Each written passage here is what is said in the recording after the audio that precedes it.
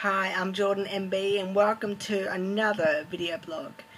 There's a few things that I have to talk to you guys about um, as to what's been happening in my life recently since my last video blog. So here we go.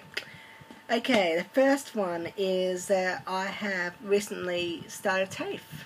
I'm at Loganlea campus and I'm there part-time Mondays and Tuesdays. I am enrolled in Certificate 3 in Business and Business Administration and it is a great course, let me tell you, it is amazing. Um, it's not too hard but it's not too easy, which is kind of what my parents wanted as well. So um, I'm doing a few modules at the moment. I'm doing three of them actually.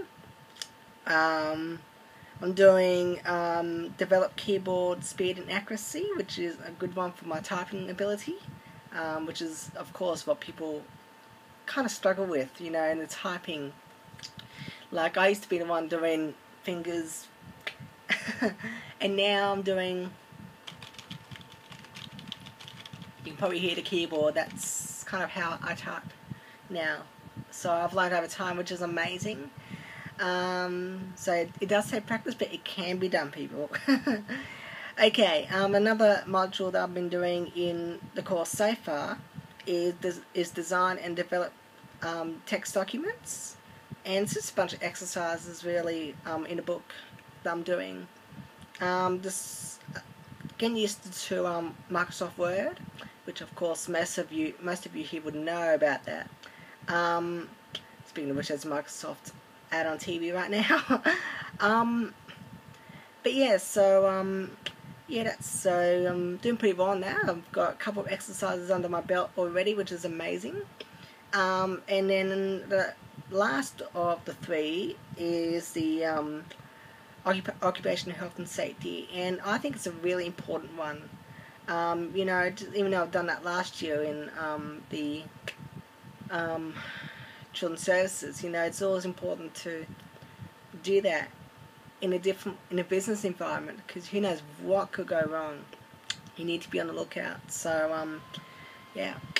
Okay another point that I'm going to make is that um some of you may realise I haven't been going to church for a while. Now I was going to Hillsong Church but I discovered that it was too far away to, to go every week especially for my parents to pick me up. And so I thought to myself you know I want to help them out a bit. And so decided that it would not be the best option to go and let them have to take me back every time.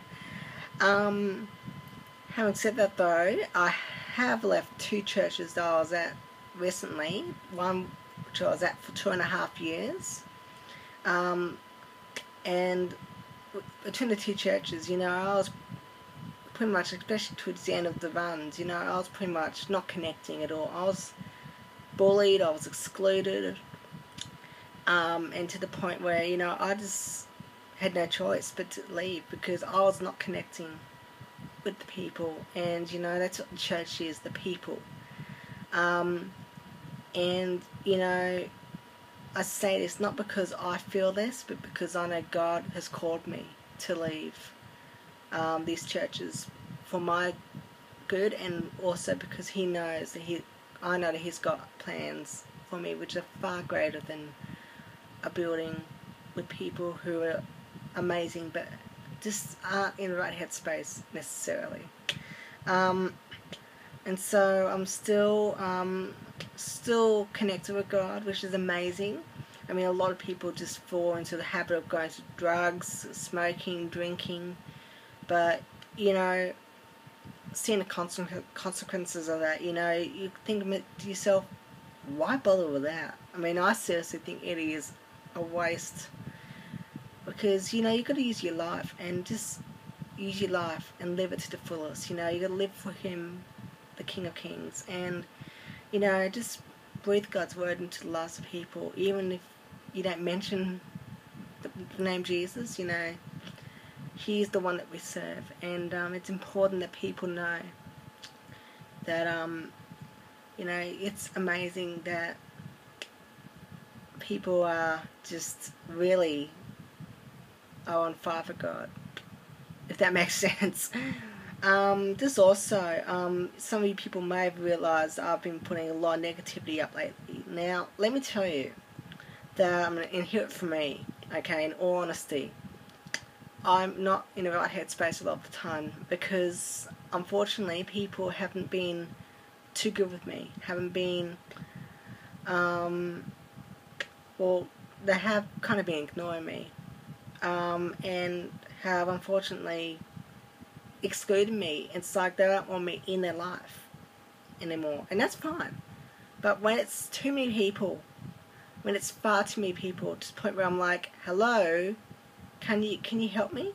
And you know, no one should ever feel unwanted. No one should ever feel like they're alone. But unfortunately, this is what people are doing to me.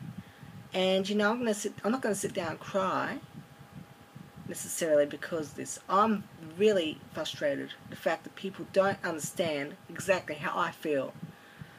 And you know, honestly, here for me, I'm not gonna sit down and let this slide. You know, I'm not here to do any wrong. I'm here to make a mess of things. I'm simply here to find acceptance. And I'm, simply here to just enjoy life. But I can't really enjoy it when I'm alone, necessarily. You know, when I need help and when I need company, um, you're gonna, someone's gonna have to let me know that they're there for me.